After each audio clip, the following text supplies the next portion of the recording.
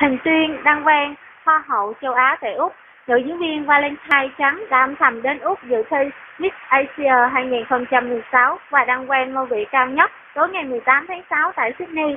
Hình Tuyên đã chia sẻ hình ảnh đăng quang của mình và nhận được sự chúc mừng của người hâm mộ. Á hậu một của cuộc thi là Aseka Justi, trong khi Á hậu hai thuộc về Jenny Nguyễn.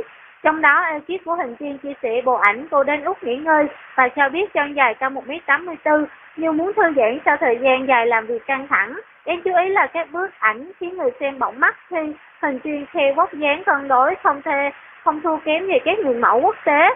Trong khi trong những chia sẻ gần đây, nữ diễn viên cho biết cô đang chuẩn bị lấn sân sang lĩnh vực ca nhạc. Theo đạo diễn thành được, Hình Tiên có khả năng theo đuổi sự nghiệp ca hát như một ca sĩ chuyên nghiệp và đây là một năng khiếu của cô. Việc tham gia cuộc thi nhan sắc được cho là chân dài muốn tạo được danh hiệu đến gần hơn với mục tiêu của mình.